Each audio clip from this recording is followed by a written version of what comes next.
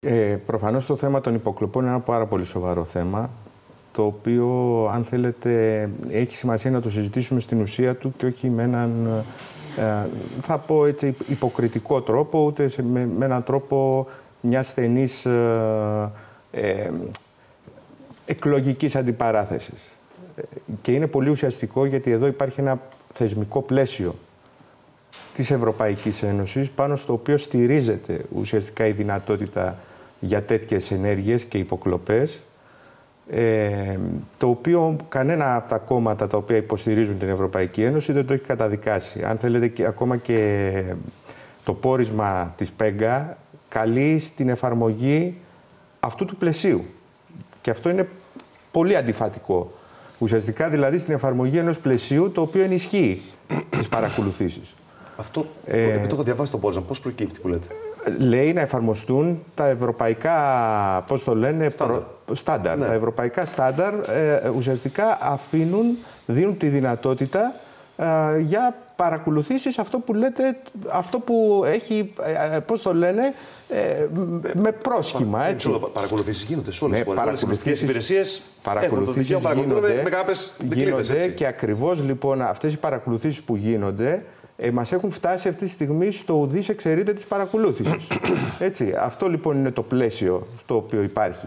Άρα λοιπόν πρέπει να ανοίξουμε αυτό το ζήτημα. Δεύτερο σχόλιο πάνω στο θέμα των παρακολουθήσεων είναι ότι το Κομμουνιστικό Κόμμα Ελλάδας έχει καταγγείλει για παρακολουθήσεις στην Κεντρική Επιτροπή του Κομμουνιστικού Κόμματος από το 2016, οι οποίες ε, καταγγελίες έχουν θαυτεί με ευθύνη... Στην, στην Επιτροπή, στην Εξεταστική δεν μπήκε ναι. αυτό. Κοιτάξτε, στην Εξεταστική Επιτροπή μπήκε και υπήρχε τοποθέτηση ε, στελέχους ε, ανεξάρτητης αρχής, το, η οποία, το οποίο ε, είπε πολύ απλά ότι οι παρακολουθήσεις του Κομμουνιστικού Κόμματος υπάρχουν υπαρκτές και γίνανε από διεθνή κέντρα από εξωτερικές πηγές.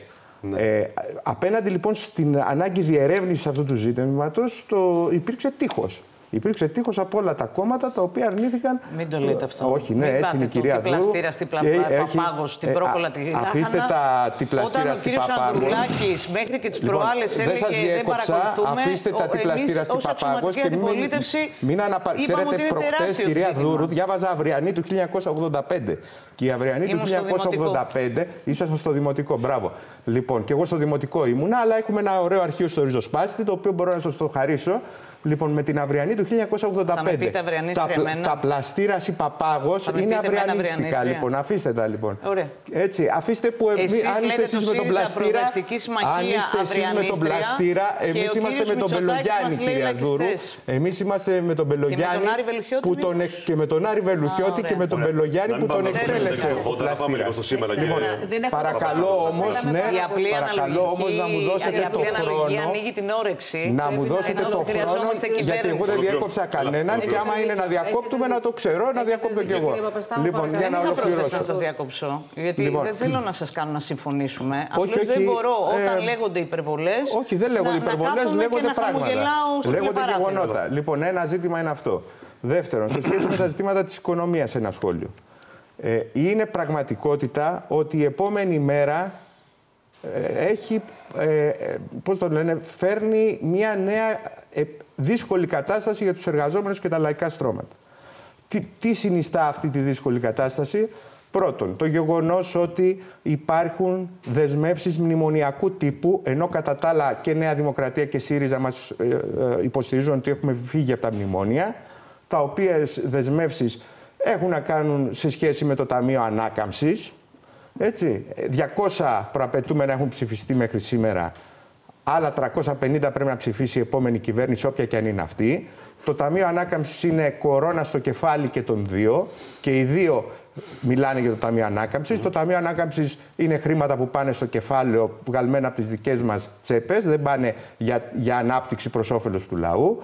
Είναι το σφίξιμο της ζώνης της δημοσιονομικής πολιτικής της Ευρωπαϊκής Ένωσης. Γι' αυτό λένε και οι δύο ότι τα προγράμματα τους είναι κοστολογημένα, που σημαίνει ότι δώσουν από το ένα χέρι θα το πάρουν από το άλλο, από το λαό.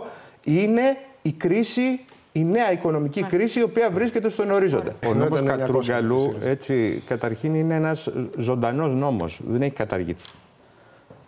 Καταργ... Ε, πώς το λένε, άλλαξε η Νέα Δημοκρατία μια ρύθμιση. Ως το Έτσι. Στις εισφορές όμως. Έτσι, στις εισφορές, ναι. Ε, λοιπόν, και ουσιαστικά το δίλημα που μπαίνει στους αυτοαπασχολούμενους είναι να διαλέξουν το αν θα πληρώνουν ασφαλιστικές εισφορές στα ύψη ή αν θα παίρνουν μια σύνταξη πείνας. Αυτή είναι η πραγματικότητα. Λοιπόν, ο... είναι κατά τη γνώμη μας ένα μνημείο ε, αντιασφαλιστικό το οποίο η γνώμη μας είναι ότι πρέπει να καταργηθεί. Αυτή είναι η δικιά μας πρόταση. Γιατί περιλαμβάνει και άλλα ζητήματα. Περιλαμβάνει το θέμα του πετσοκόμματος των συντάξεων. Ψαλιδοχέρι τον ονομάζαν τα, οι εργαζόμενοι, το Γκατρούγκαλο θυμίζω. Ε, περιλαμβάνει ε, θέματα που αφορούν το όριο συνταξιοδότησης της ηλικίας. Ε, Τέλος πάντων, είναι ένα συνολικό, λέτε να συνολικό, συνολικό, συνολικό πλαίσιο. Ναι. Λοιπόν, κατά τη γνώμη μου ε, και τη γνώμη μας ακόμα, ο κ. Κατρούγκαλος έχει μια συνέπεια σε αυτά που είπε. Δηλαδή, δεν είναι θέμα κρυφού ή φανερού προγράμματος.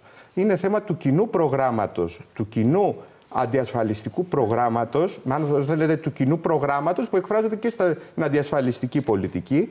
Γιατί θυμίζω ότι πριν περίπου ένα χρόνο ο κύριος Τσίπρας σε εκδήλωση για την υγεία ε, έλεγε ότι ο νόμος Κατρούγκαλου είναι ένας παρεξηγημένος νόμος. Ένας παρεξηγημένος νόμος.